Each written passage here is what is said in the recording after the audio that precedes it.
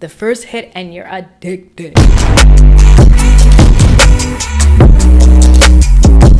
What's up, everyone? It's your favorite blind chick back on your screen with another one. I wanted to switch it up for 30 days of blind. So, in this one, I'm going to be sharing with you my Sephora sale recommendations.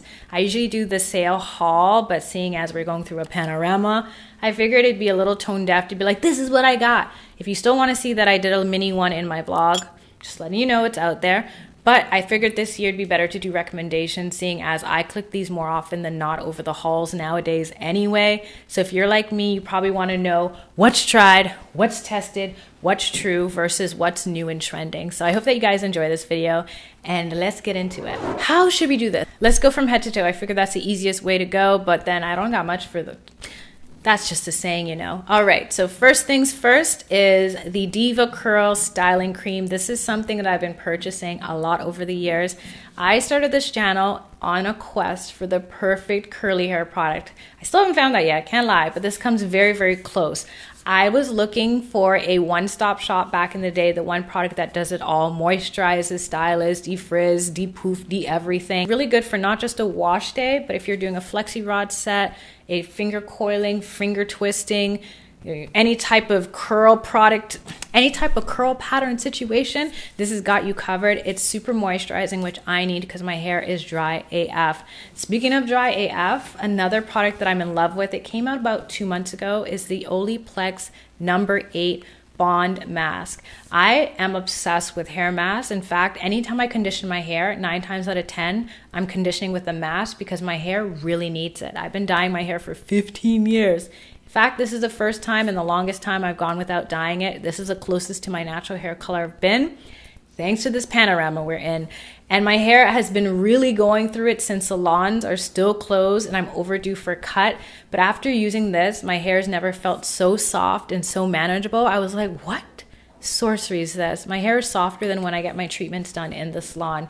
So I mean for the price point, if it's gonna feel like that, is worth it. I got three picks for skincare. If you watch my channel, you already know I'm skincare obsessed. Surprisingly, this Mask Maniac doesn't have any masks this year. I've kind of gotten over the masks. Even though I was obsessed for years, I just find serums work better, especially with the skin I've been dealing with. My first recommendation for you is no surprise to any of you who've watched my channel for any amount of time fresh soy face cleanser. This is the holy grail of holy grails. If you want something that's going to do it all, it gets rid of your eye makeup without irritating your eyes. It can get rid of your makeup as well as just wash your face on a regular day. I only ever wear foundation when I'm filming with you guys. Other than that, I go bare face. I just like it that way. But I use this on the daily. I'm obsessed. I even had to tell myself that once I'm done this bottle, I have to try something different because I've been using this for six years straight. And I'm sure there's been great face washes that have been on the market in the last six years. If there's something you love, recommend it down below. But I keep coming back to this whenever I get a sample. It's like nothing compares. It's not the best at makeup removal, but it is really good. I usually have to do two washes with this, but on a regular day when I'm bare face, this is so good for getting everything out of my face without irritating it. If you got sensitive skin, this is going to be a game changer. I do not have sensitive skin, but it is so gentle, gentle enough to use on your eyes, like directly on your eyes. And because I'm so lazy, I just don't want to do the most to take my mascara off. I just rub it let it sit while I'm in the shower, and then wash it off, and it's good to go. Another product I need to wean myself on because the obsession is real is the Dr. Dennis Gross Ferulic and Retinol Acid. I first bought this six years ago, not even knowing the wonderful world of retinol and how much it would change my life. The first bottle I used was the best bottle. It was like crack. Is crack the one where it's first hit? That's I don't, I don't know drugs like that, but I just know that if this was a drug, this would be a drug. The first hit and you're addicted. This made my skin glow like no other. As I mentioned before, there's been a time that I would buy way more skincare than I like to admit from Sephora. And as much as it worked initially, usually it didn't work at the end of it or after the second bottle or whatever. This is probably my fourth or fifth bottle and it still works really well. The only reason why I want to stop using it is because I want to try other serums on the market, but I already know I'm going to be buying this again very soon, especially since we're probably looking at about a month or two left worth of this I think it's about a quarter left, but that's going to last a long time. I was a little bit apprehensive to share this one since this is the newest addition to the collection.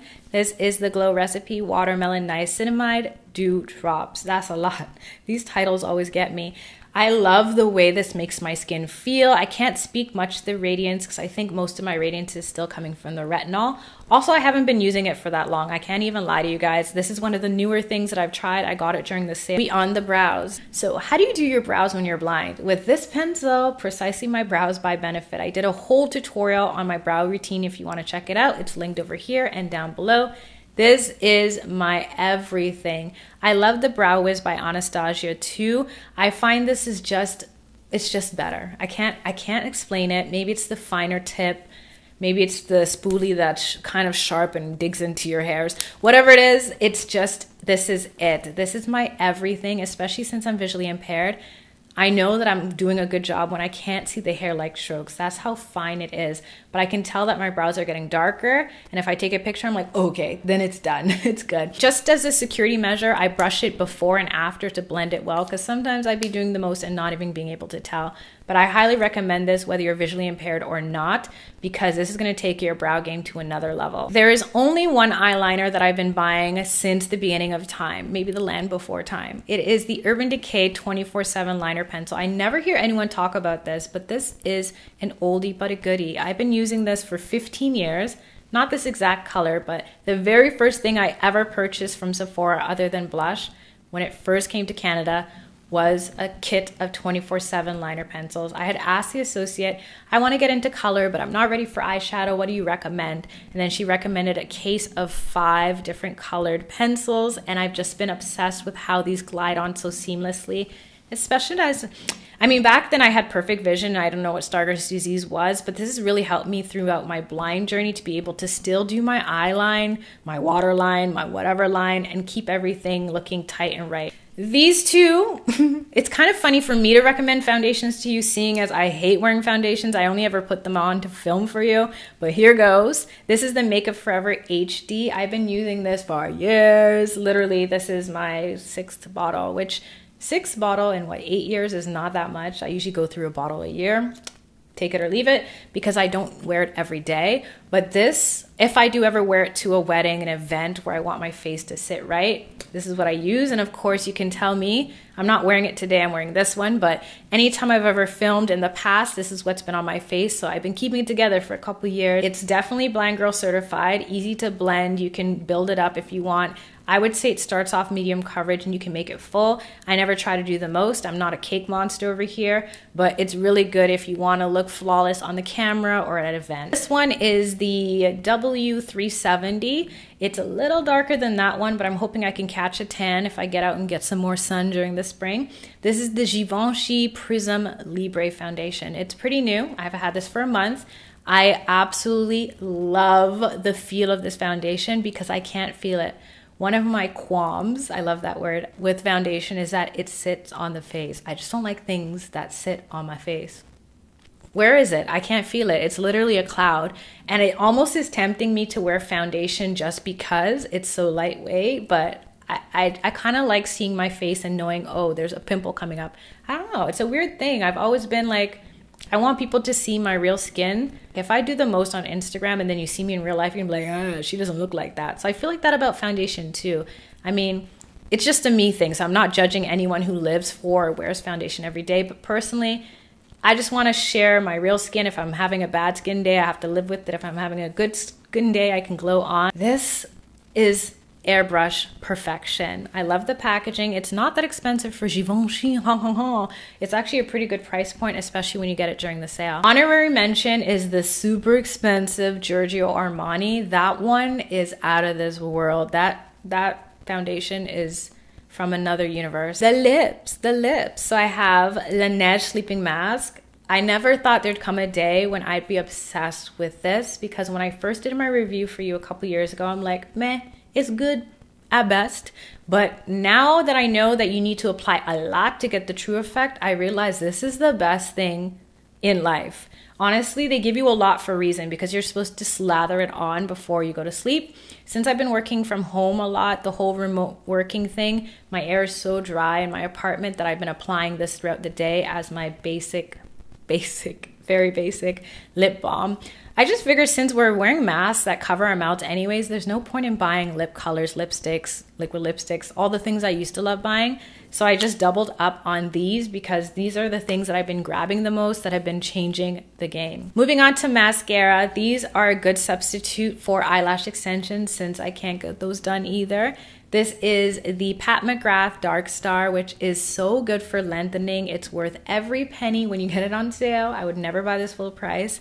And then this is the Lancome Idole, which has the Wicked Wand. I'm sure you can find a wand like this at a drugstore mascara, but something about this formulation. It does a divine job of not only lengthening your lashes, I have it on this eye and I have this on this eye just for point of reference, but both of them are really good for lengthening and expanding. My lashes are short and stubby and they tend to clump whenever I put anything on it. So I need a mascara that's going to be really good at lengthening without having them tangle and fight each other. On top of that, this one is really good with the wand to push like a push-up bra. On top of that, this one is extremely good for feathering out your lashes, especially when you can't see them. I use the 10x magnifying mirror, which I'll show you in an upcoming video when I do a get ready with me. But sometimes my lashes look like tarantulas because I can't see that I'm just brushing them all types of ways. So at least this gets them feathered out in a more cat-like way. This looks so nasty, yo. Why does this look so gross? Okay, so the story behind this is it didn't come in this bottle. This is a Muji spray bottle, but the bottle it came in broke because it dropped 99,000 times. And the last time was the last time for the last time. This is the Fenty Beauty What It Dew setting spray, which is unparalleled to any other setting spray. This is my everything, which is why I had to salvage the solution in this container. It is so good, and I wish I still had the bottle because the mister part is where it's really at. It's the lightest. It literally feels like an experience.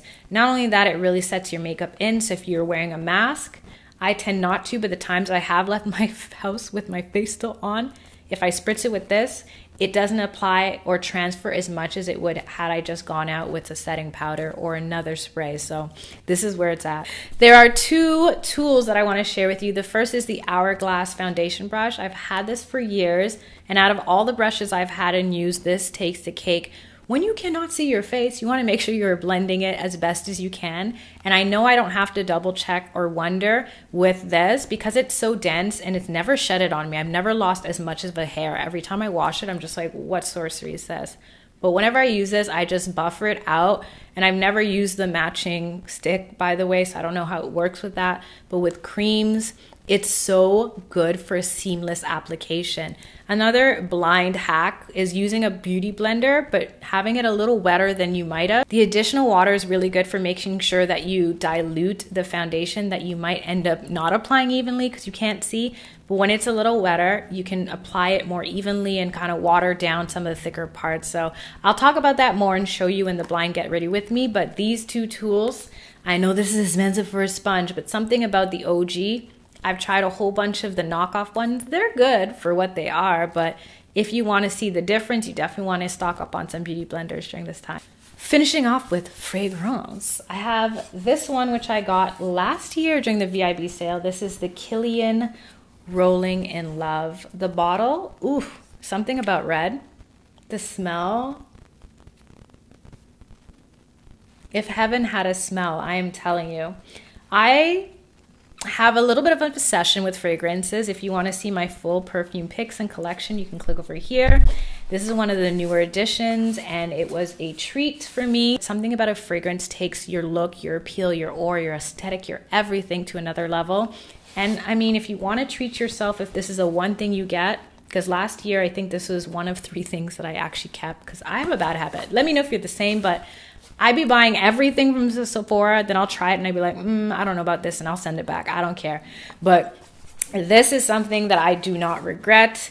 I hope to cherish it. I keep it in the box so that it doesn't go fast because I find fragrances turn so quick on me. I don't know if it's because my apartment is hot or I just have bad luck, but I'm trying to preserve this to the last drop. I also tend to stock up on travel size perfumes, not just because I want to try something new, but because they all turn on me so fast. It's better to get a small sized anyways. This is the Clean Acqua Neroli. Hope I'm pronouncing that right. Anytime I wear this, I get compliments. It's just no words. It's so it's so good. It's just for a girl who talks a lot, it takes the words and the breath away. This one over here, I've been using a lot because it's not as potent. I have to spray this whenever I've just lotioned my body so the emollients can help bind this to my body. This is the Kilian Princess, which has matcha and green tea.